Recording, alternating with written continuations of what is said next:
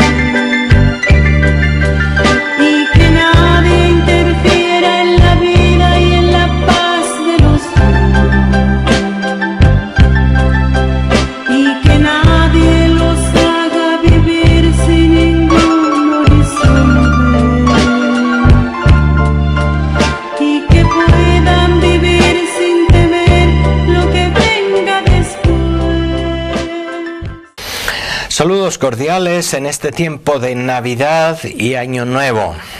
Tiempo de Navidad que, como hemos reflexionado en nuestros programas anteriores, debe ayudarnos a centrarnos en lo esencial, porque justamente estos tiempos en los que hay tanta dispersión, tanta distracción, podemos decir así, nos eh, evitan, nos eh, alejan de poner atención a lo esencial, a lo central.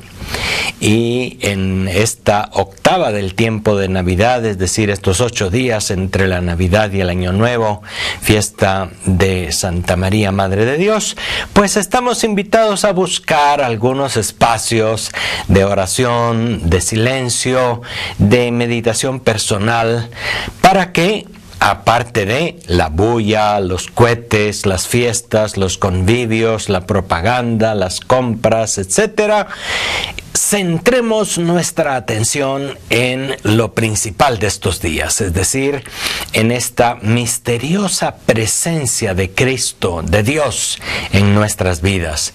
Y fíjense que celebrar la Navidad, celebrar que María es Madre de Dios, celebrar como estamos en este domingo, la Sagrada Familia, no es solamente recordar acontecimientos del pasado, no es solamente hacer memoria de cosas que sucedieron en el pasado, sino recordar que eso que celebramos tiene sentido para nuestras vidas hoy, ahora.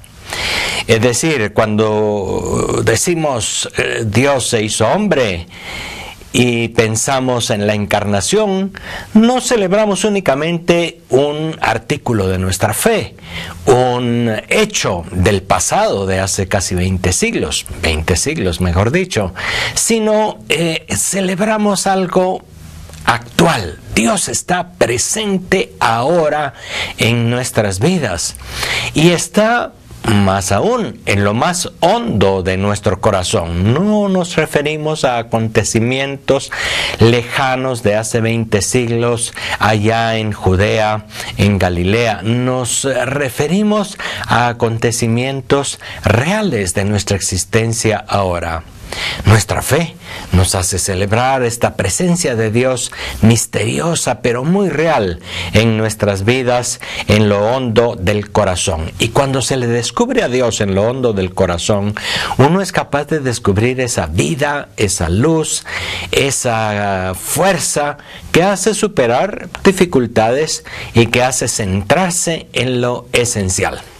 Así pues, mi invitación, hermanos, hermanas, en estos días de Navidad, Año Nuevo, antes de que comience el trajín del trabajo normal del año siguiente, es eh, una invitación a buscar un momento de profundización, de silencio personal, de contacto personal con la palabra, para que nos quedemos en un determinado momento sorprendidos de esa presencia de Dios en lo más hondo del corazón la solución a las dificultades personales, familiares, sociales, a veces la buscamos únicamente en el exterior, la buscamos en los demás, la buscamos en las estructuras políticas, sociales o incluso religiosas. Y en eso nos equivocamos, porque la solución está primero en el corazón la solución a las situaciones difíciles de cualquier circunstancia las encontramos primero encontrándonos nosotros mismos con esa presencia de Dios que es gracia, que es fuerza, que es luz en lo hondo del corazón. Si eso hiciera cada uno en su propia vida personal, le aseguro que tendría un punto de apoyo para hacer frente a muchas circunstancias externas adversas que uno realmente no puede cambiar. Pero si está en lo hondo del corazón, en contacto con el Señor, que no es que está afuera, está en lo hondo de su corazón, ahí es donde puede nacer, donde puede manifestarse. Ahí es donde se puede encontrar este contacto directo claro con él, como lo encontraron los eh, magos, como lo encontraron los pastores allá en el pesebre de Belén, como lo reconocieron María y José, muy cerca de ellos.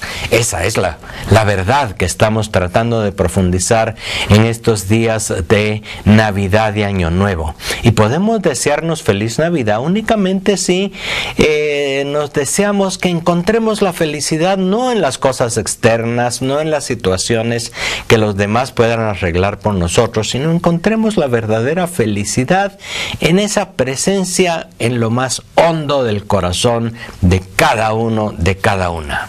Eso es la Navidad, es Dios que está en lo más profundo, en lo más íntimo del corazón de cada ser humano. Esa es la encarnación, eso es lo que celebramos estos días de Navidad. Dios se ha encarnado, se ha metido en nuestra historia, ha dejado de ser el Dios lejano e inaccesible, el todopoderoso, el omnipotente, el omnisciente, todas esas cualidades que le podemos poner y que en realidad le alejan de nuestra existencia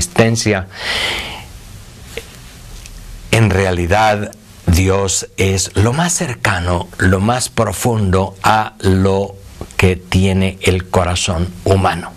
Y eso es la Navidad. Ojalá que en estos días busquemos y encontremos un momento de silencio para encontrarnos con esa verdad profunda. Y de ahí se ilumina todo lo demás. Y de ahí se adquieren nuevas fuerzas para hacer frente a los desafíos, a los retos, a las situaciones del nuevo año, etcétera. Hoy, en este domingo 29 de diciembre, este domingo que cae entre la Navidad y el Año Nuevo, estamos celebrando la fiesta de la Sagrada Familia. Y fíjense ustedes que una de las dimensiones a la que estas fiestas de Navidad y Año Nuevo nos remiten es a la dimensión familiar. Primero porque suelen ser ya tradicionalmente en nuestras culturas eh, occidentales, cristianas y muy particularmente latinoamericanas, eh, suelen ser fiestas de familia. En estos días eh, volvemos a encontrarnos con los, los hermanos, los abuelos, las tías, los primos, que tal vez a veces en otro momento del año no encontramos. Eh, son los días en los que nos mandamos las tarjetas de Navidad, en los que nos damos abrazos de Navidad, en los que nos reunimos para algún encuentro familiar. De manera que ya en nuestra cultura y en nuestra circunstancia el tono familiar está presente. Pero sería bueno quedarnos no solamente con ese tono de celebración, que ya es lo primero, sino ir a poner nuestra atención también en el mensaje que la Navidad nos ha traído.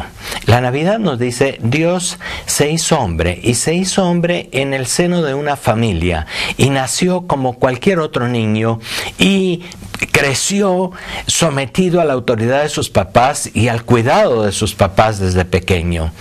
Eh, este niño eh, era objeto de la admiración de sus padres, que guardaban en su corazón tantas cosas de, de lo que se les había dicho de ese niño y de lo que ellos percibían de especial en ese niño. Pero por otra parte, lo que veían, lo que veían simplemente era a otro niño. Y con los ojos de la fe, con los ojos de la contemplación, María y José, primero que nada, pero también los magos, también los eh, eh, pastores pobres en el pesebre, etcétera, descubrían en aquel pequeño niño y en aquel jovencito y en aquel adolescente en Nazaret algo mucho más grande. Y se admiraban de aquel inmenso misterio de Dios presente en la vida que había surgido en el seno de María Virgen y que luego había crecido y madurado a la sombra de la familia de Nazaret con José y con eh, una familia pues un poco más amplia como solía ser en aquel ambiente cultural.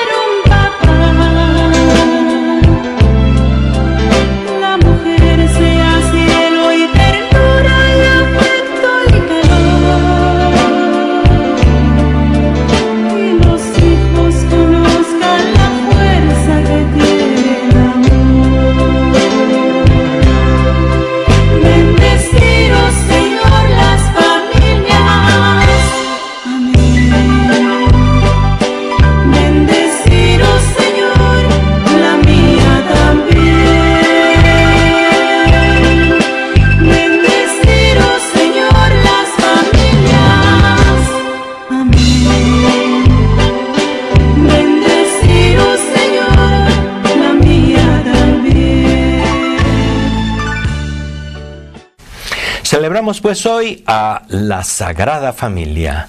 Celebramos aquella familia de Nazaret.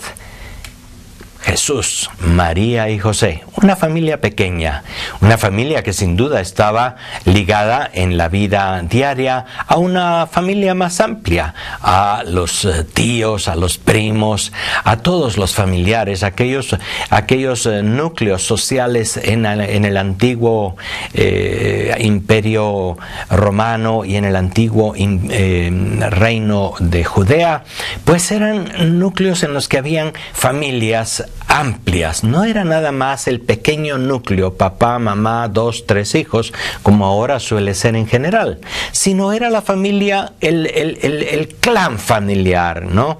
Era una serie de relaciones mucho más amplias. Y nuestros ojos en estos días de Navidad y Año Nuevo se centran en ese núcleo que sociológicamente hablando es muy importante, es clave para el desarrollo del ser humano según nuestra manera de ver las cosas como cristianos, pero que también desde el punto de la vista de la fe es imprescindible. Y son los dos aspectos principales eh, sobre los que se centra nuestra atención al, hablar de la familia. Hoy estamos en un mundo en el que ha criticado la institución familiar como patriarcal, como...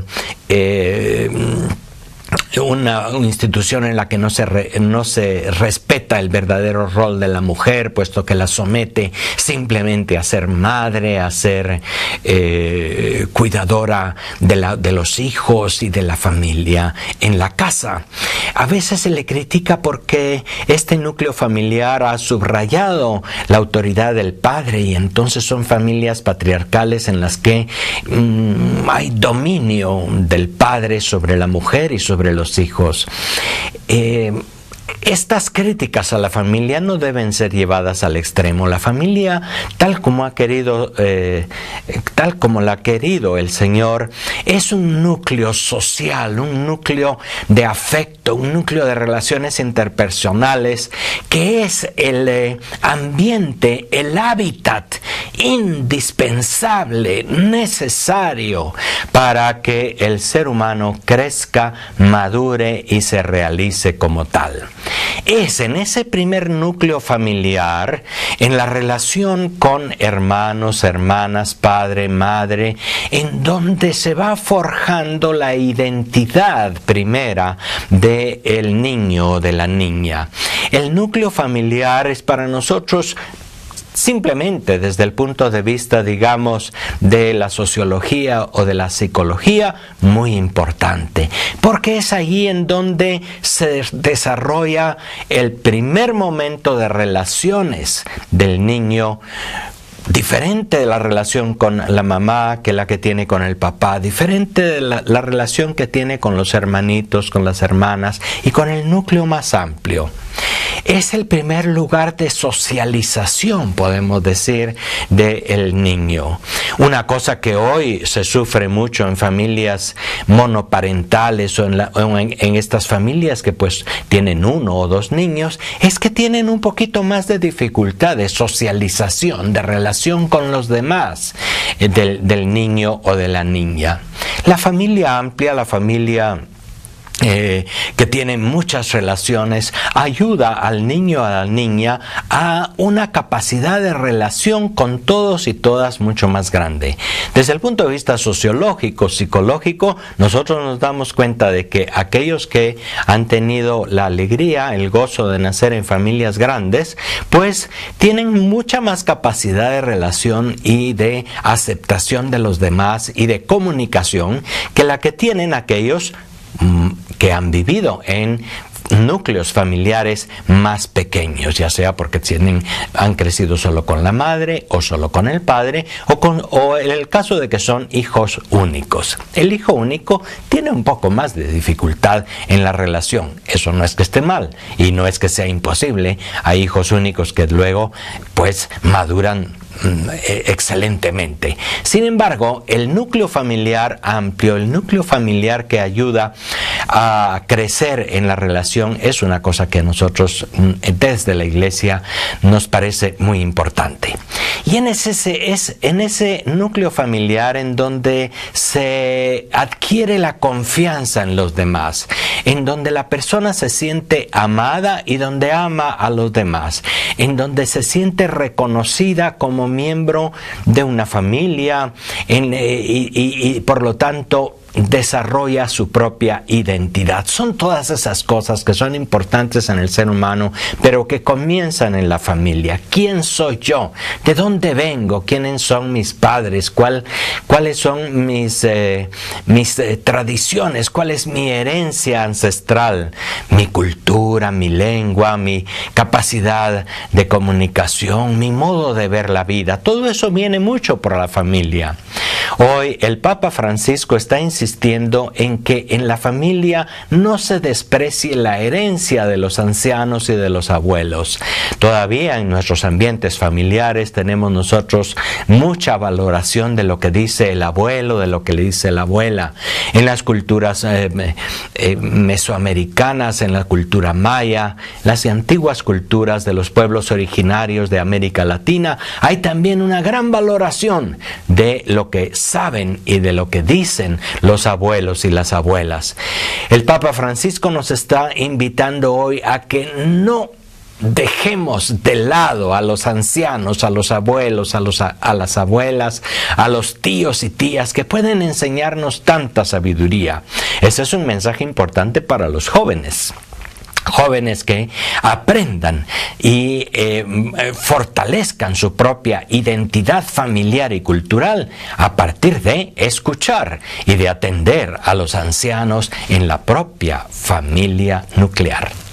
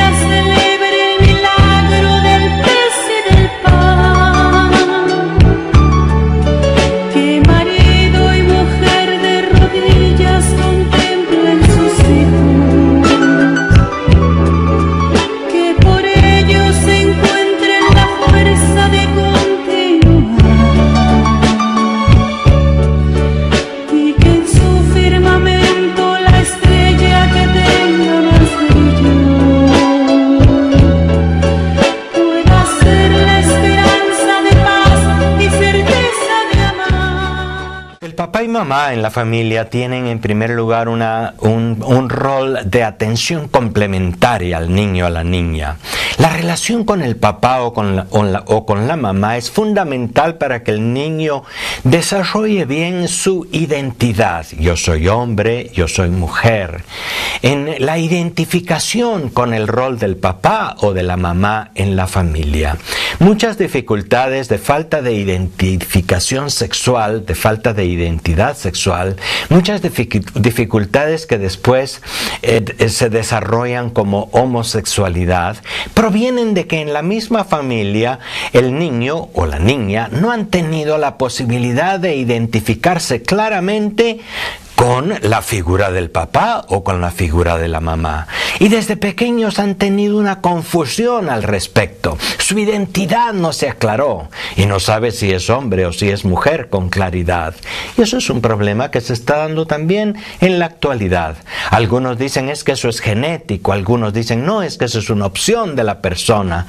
En la iglesia y nosotros desde la concepción de la familia consideramos que la homosexualidad es un problema que viene sobre todo, aunque puede haber otros factores, de la falta de identificación del niño o de la niña con el padre o la madre. Una cosa tan simple y tan sencilla. El rol del papá y de la mamá están muy claros en la familia y los niños los aprenden bien desde pequeños. El niño, el adolescente que no tiene esas figuras claras de padre o de madre, o que rechaza al papá por cualquier cosa o rechaza a la mamá por cualquier otra cosa y no se identifica bien con su propia identidad sexual, después va a tener algún problema. Hoy los problemas de la homosexualidad van creciendo y van teniendo también sus consecuencias para lo que es la institución familiar.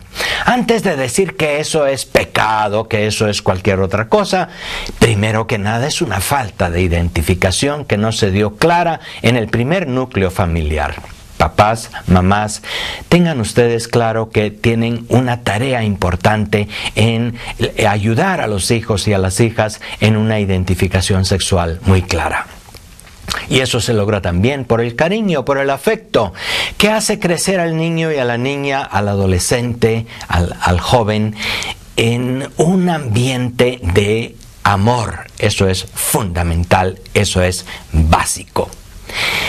Es muy importante también esta capacidad de relación con los demás, con los hermanos y con las hermanas, cuando hay una igualdad de trato, cuando hay una igualdad que supera el machismo ya en el mismo ambiente familiar, hombres y mujeres ya desde la familia tendrán una clara identidad y no serán después discriminadores del sexo opuesto, no serán aquellos que se creen superiores por ser varones o inferiores por ser mujeres esas cosas fundamentales de igualdad de relación, de igualdad de dignidad, de igualdad de respeto, etcétera, se aprenden primero que nada en la familia. La escuela podrá ayudar después. La catequesis en la iglesia ojalá que ayude. ¿eh? Los medios de comunicación podrán favorecer el ambiente positivo y de crecimiento en la familia. Pero el núcleo, la base, se da allí. Es por eso que también nosotros, desde nuestra fe, valoramos y celebramos a la familia. Hoy estamos en este domingo de la Sagrada Familia y es ocasión para felicitar a las familias. Es ocasión para animar a las familias a hacer ese trabajo que es indispensable en el crecimiento, en la maduración, en la formación de seres humanos, hombres y mujeres, con una identidad clara, con una psicología sana, etcétera. Hoy muchos sociólogos, muchos analistas de la realidad coinciden en que el delincuente o la persona que tiene dificultad de inserción social o la persona que tiene cualquier dificultad que luego deriva en actos delictivos y lo que sea, proviene muchas veces de familias que se denominan disfuncionales, de familias que no han dado un ambiente correcto de crecimiento, de familias que no han dado primero el ambiente de seguridad, el ambiente de cariño, el ambiente de respeto que el niño aprende desde pequeño. Muchas veces un, delincuente es alguien que ha tenido aquella familia disfuncional, aquel, aquel ambiente primero que luego es muy difícil de solucionar posteriormente. Desde la fe y desde la iglesia la familia es altamente valorada y primero que nada porque el Hijo de Dios se hizo hombre y se hizo miembro de, una familia. Creció en Nazaret durante 30 años en un ambiente familiar y en un ambiente eh, normal de su casa y de su trabajo y de relaciones con los demás, que le hizo ser hombre verdadero en todo, menos en el pecado esta convicción nuestra de Dios hecho hombre y hecho miembro de una familia ha santificado la vida familiar y nos ayuda a todos y todas a pensar en la importancia y en la misión que tiene la familia en nuestro mundo. Nunca hemos de dejar de em, ver que también hoy hay eh, críticas duras a la familia, alguna vez con razón, puesto que hay padres patriarcales o machistas. Hay eh, también hoy eh, críticas a la institución familiar, puesto que se pretenden otros estilos de matrimonio y de así llamada familia.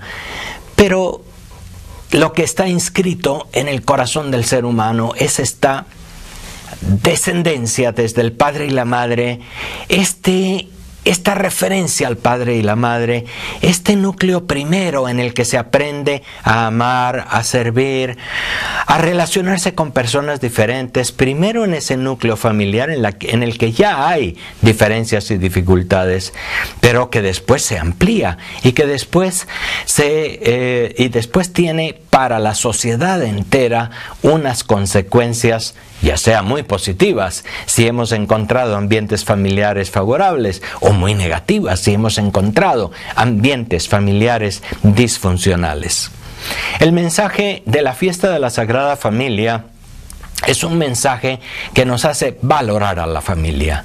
Y fíjense ustedes que a lo largo de la historia es cierto que ha habido familias patriarcales centradas únicamente en la autoridad del padre y, mm, relegando el, rol de la madre o de los hijos a un, a, a un espacio muy diferente.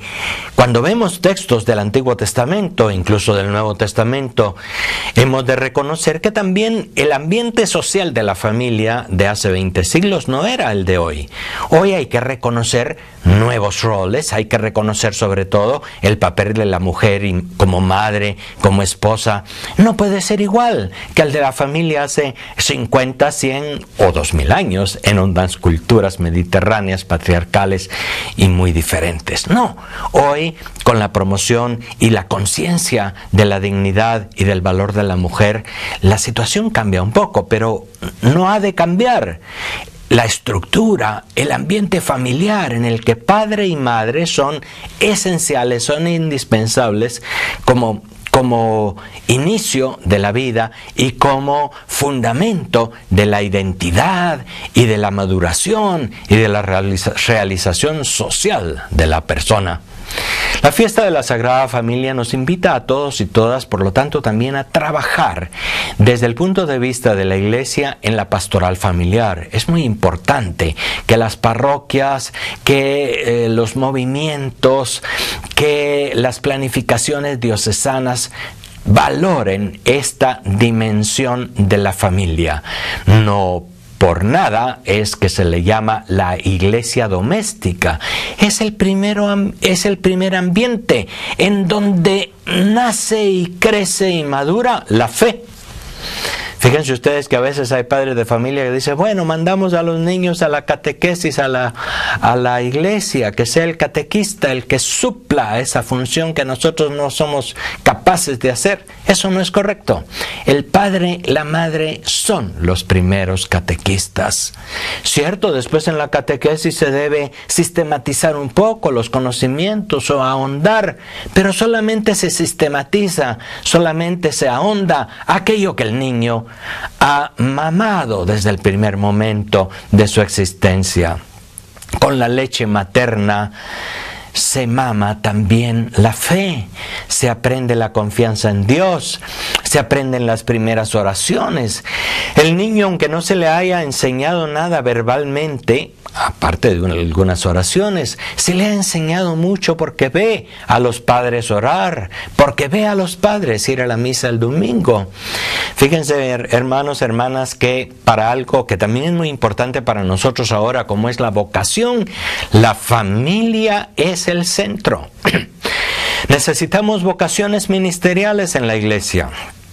Este mes pasado de diciembre, gracias a Dios, hemos tenido el 14 de diciembre una nueva ordenación sacerdotal en Salamá. Y poco a poco iremos teniendo alguna que otra ordenación son pocos los jóvenes que hay en el seminario, hay, hay mucha falta de vocaciones sacerdotales y también de mujeres consagradas, de mujeres religiosas. Eso no podrá salir adelante si no comienza en la familia la valoración del ministerio y de la vida consagrada. Gran tarea la de la familia, pero también gran posibilidad la que tenemos de que San José, María, y el niño, el joven, el adolescente Jesús, en esa figura familiar, sean para nosotros inspiración e intercesión en nuestra vida. Hasta la próxima. Felicidades a las familias.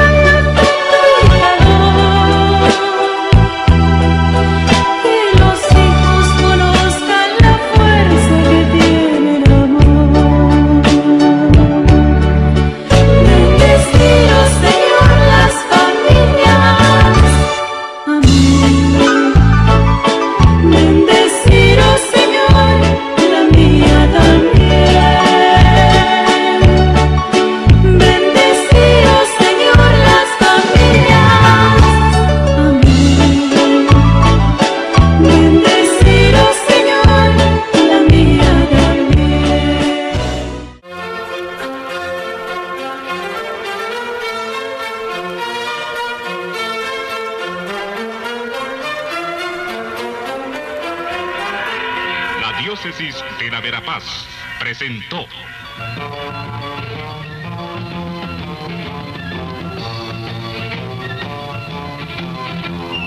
El pueblo de Dios, el pueblo de la esperanza.